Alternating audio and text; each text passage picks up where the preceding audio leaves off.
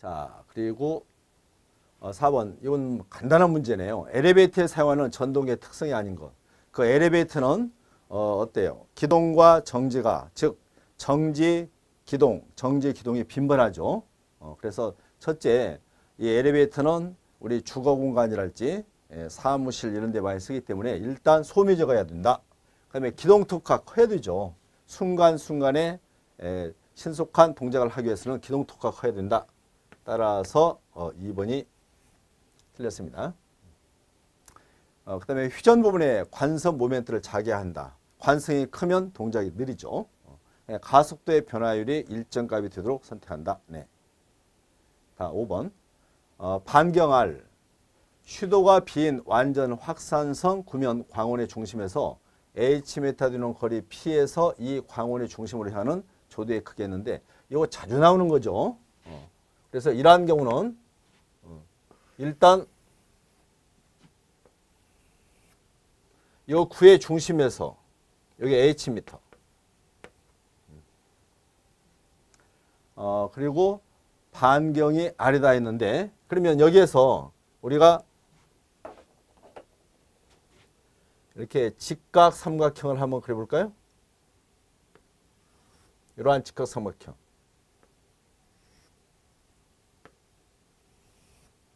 그래서 이 각이 세타가 돼요.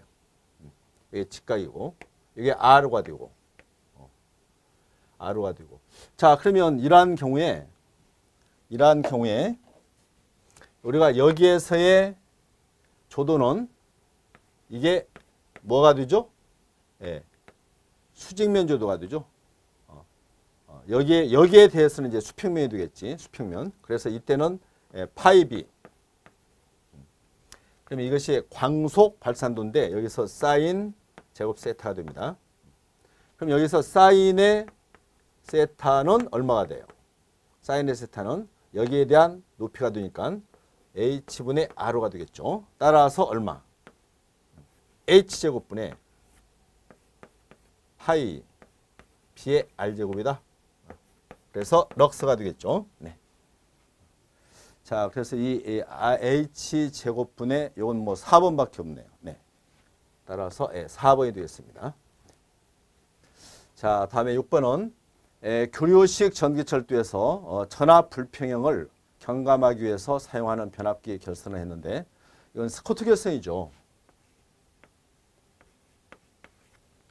자, 스코트 결선은 에, 단상 변압기 두 대로서 두 대로서 어, 1차가 삼상을